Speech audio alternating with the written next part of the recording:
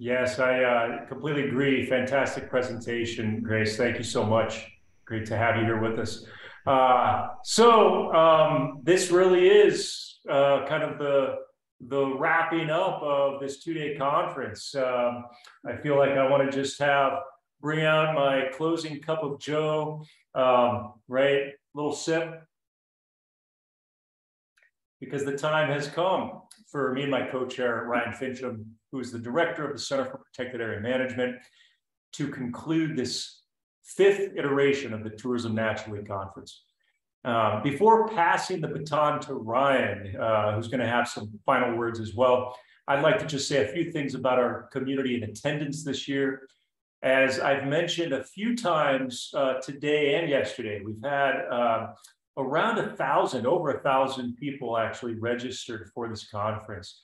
And um, you know, given the demographics and the focus of our presenters and our programming, um, it might actually surprise you to know that only a little over 20% of our registrants were from the US.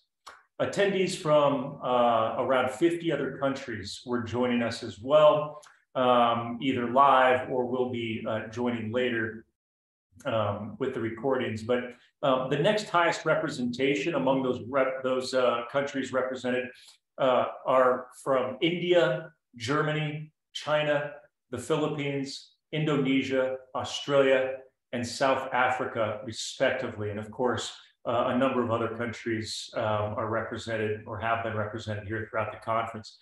So uh, I also wanted to just note, as I alluded to uh, in several comments throughout today, um, that nearly half, and it's really around 45% of those registered for the conference this year were students. So I just want to give a little kind of a message to uh, our nearly half, uh, you know, of the thousand registered here. If that's you, if you are a student, um, I just want to say that uh, the entire conference team is very thankful that you've joined us, and we definitely look forward to your ongoing involvement in the Tourism Naturally Conference series moving forward. And as a quick aside in that respect, I want to say that if any of you students did not hear the commentary from the Director of Destination Development uh, for the Colorado Tourism Office, Andrew Grossman, during his panel yesterday, that was from day one, I really, really encourage you to go back when uh, the video is, is available and uh, listen to that panel where, where he really made multiple clarion calls, as, as I'll name them, for you to consider working in this uh, transformational industry that we call tourism. Um, I think that our panelists from this afternoon, Ken Widmeyer and Sam Albert, also sent out these similar calls for uh, just you know getting you to explore this uh, really amazing industry.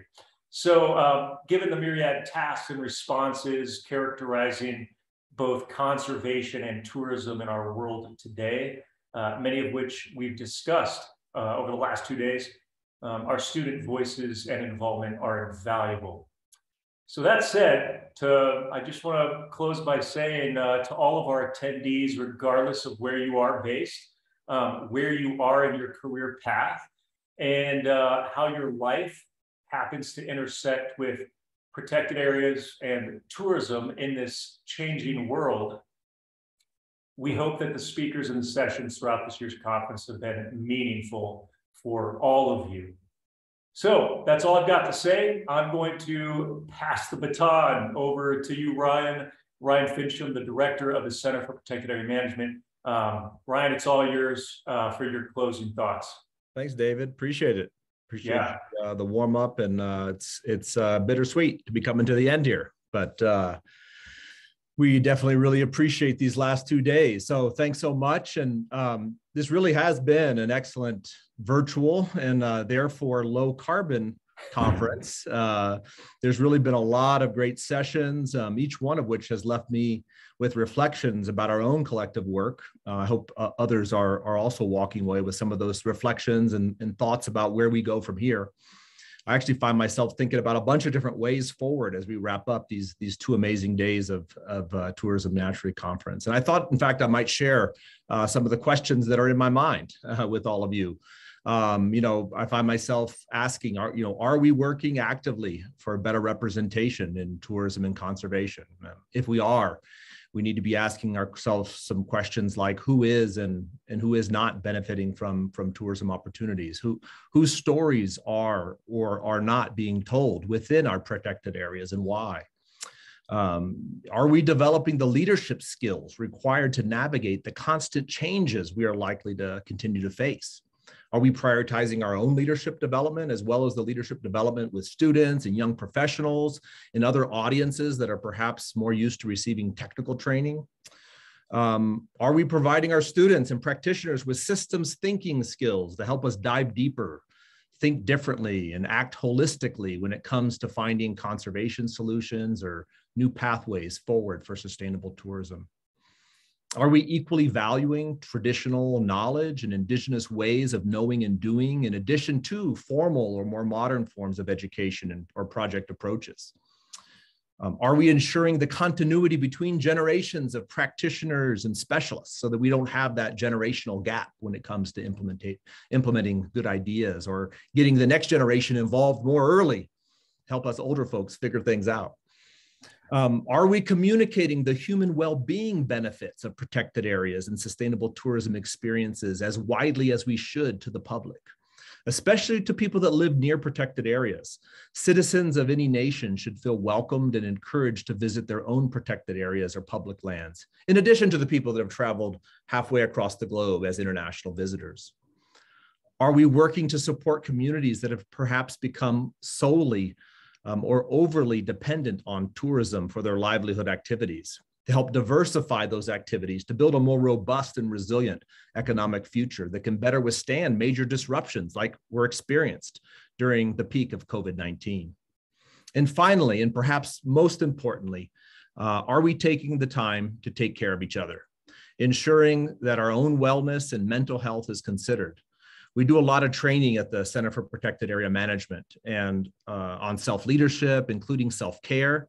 And time and time again, we find that very few people working in conservation and sustainable tourism actually prioritize the self care and wellness practices that we teach or that we often are developing or encouraging our visitors to experience in protected areas.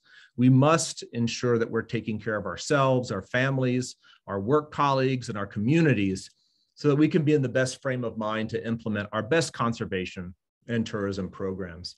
I, I think as we try to answer these questions, hopefully in the affirmative, we will get closer to an understanding and an operationalization, if you will, of the Build Back Better slogan that was mentioned earlier in this conference. We have to define what better looks like, and we have to define it collectively so that it actually means better for everyone, that all voices are represented. We obviously have a ways to go, but I also think we're making real amazing progress, inspiring progress, and that was demonstrated in so many of the presentations in this conference. So thanks to everyone for taking time out of their busy work schedules and lives to participate in this conference.